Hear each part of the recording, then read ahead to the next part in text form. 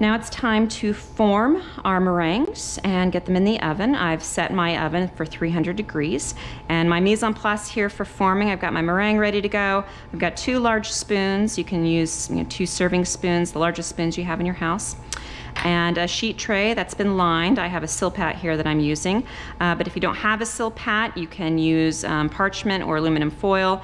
I've had problems with um, meringues sticking in both instances. Occasionally I'll have success with parchment, um, but use what you have. This is not a beautiful dish by any means. It's called Eton mess for a reason. Um, so at this point in the curriculum, don't be too concerned about it being gorgeous.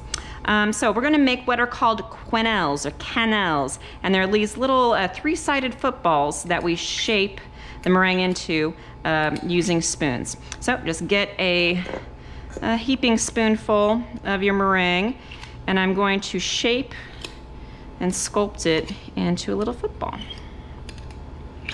Using gravity to kind of fall onto the next spoon, and then I'm just going to transfer it to my sheet tray. And go again, you can see that again. Using gravity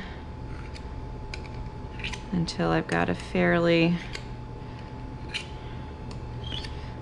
uh, consistent size and shape uh, with my others because we want these to bake evenly so having consistent size and shape from quenelle to quenelle uh, will be important.